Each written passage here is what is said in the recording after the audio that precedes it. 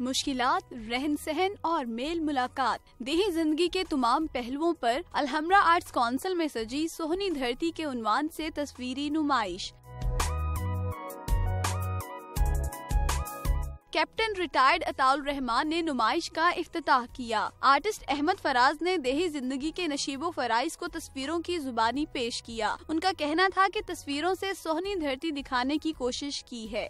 सूरज गुरूब से लेके गाँव की लाइफ सारी एंटरटेनमेंट हमारी कैसी है उस सबको प्रिजर्व किया है और इतने खूबसूरत अंदाज में किया है कि आम फोटोग्राफ्स में हमें नहीं मिलती ये चीज़ें। नुमाइश 2 अक्टूबर तक जारी रहेगी।